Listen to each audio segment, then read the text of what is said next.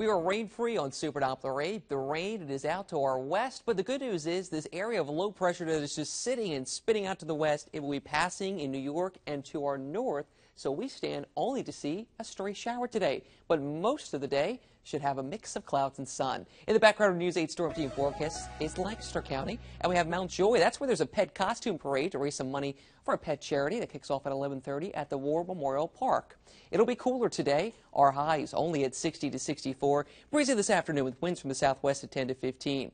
Tonight we'll have mostly clear skies. We're heading down to 40 to 46 for tomorrow. Mostly sunny day and a seasonal one with highs in the mid 60s.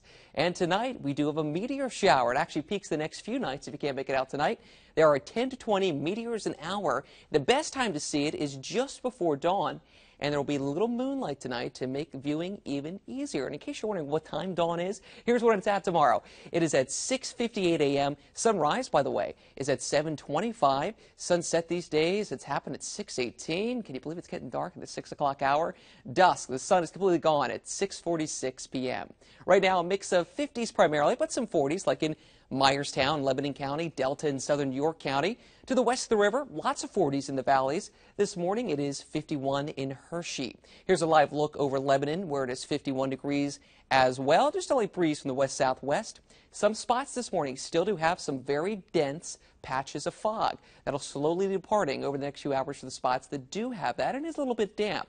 So we're in the 40s and 50s, but cooler out to the west. Some of that cooler air is what settles in over the weekend. Here's Predictor, our computer model. Notice how we have a mix of clouds and sun at 3 this afternoon, just a stray passing shower. Otherwise, as this area of low pressure moves up to the north, it just pulls in that cooler air even more. So a seasonably cool day in the mid 60s tomorrow. High pressure brings mostly sunny skies, and that's also the case again on Monday. But for Monday, that high pressure brings in some warmer air, so that returns us to 70 degrees. And those 70s, they hang around for a few days. So once we hit the 70 degree mark on Monday, let's keep it there. We'll keep it there for the entire work week. The most of the work week will be dry, but we do have some more showers to discuss later on Friday.